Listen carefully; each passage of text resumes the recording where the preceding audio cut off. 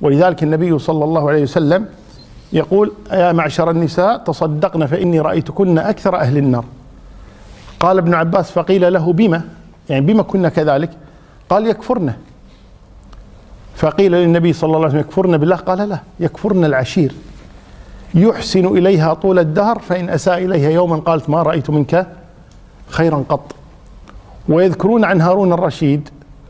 الآن النساء يغضبن الآن اللاتي يسمعنا طيب يذكرون عن هارون الرشيد آه، رحمه الله أنه قال أتتني أموال وذكر قيمتها مئة ألف أو شيء من ذلك القبيل.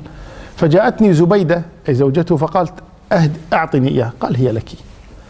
يقول فلما أصبحنا حصلت خصومة بيني وبينه. فقالت ما رأيت منك خيرا قط. يقول فضحكت. قالت مما تضحك؟